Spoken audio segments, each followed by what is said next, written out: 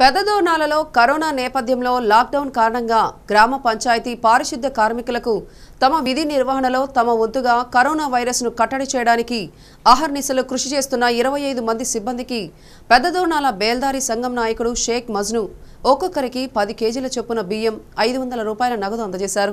ఈ కార్యక్రమంలో మజ్ను మాట్లాడుతూ రాత్రి పగలు తేడా లేకుండా ఈ కరోనా వైరస్ కట్టడిలో ఎంతో సేవలందిస్తున్న పోలీస్ సిబ్బందికి వైద్య సిబ్బందికి పారిశుద్ధ్య సిబ్బందికి తమ ధన్యవాదాల్ని తెలియజేశారు.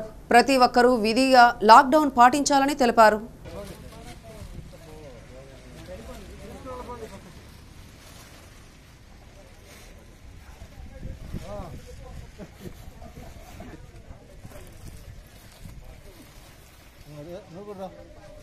గోపి.